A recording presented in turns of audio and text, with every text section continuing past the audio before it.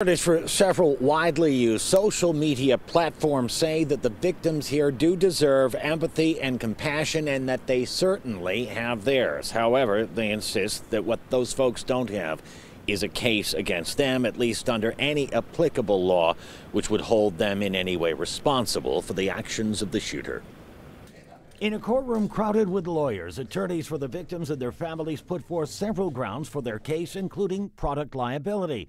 In moving to dismiss, lawyers representing social media platforms argued that not only can they not be held legally responsible for the actions of third parties using those platforms, but that the platforms don't fit under the state's product liability statute, nor do they even meet the definition of a product under long established laws. Just because it's different from 50 years ago doesn't mean it's not a product. Social media applications are product.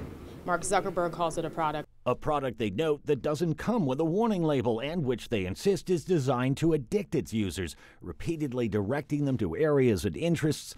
This would include replacement theory, about which they say the confessed teenage shooter Peyton Gendron, through his visits to chat rooms, became radicalized to the point where he decided to drive to Buffalo and kill black people. Someone had to push Gendron down that rabbit hole that he went to in order to become the person who he was on that tragic day, of May 14th.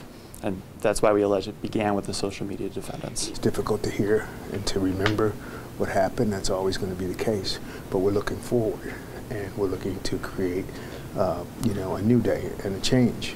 The plaintiffs are also seeking damages under the state's laws governing public nuisances, claiming there's a right to safety from violence as a result of addiction by design, and even privacy laws because the victims' deaths were live streamed.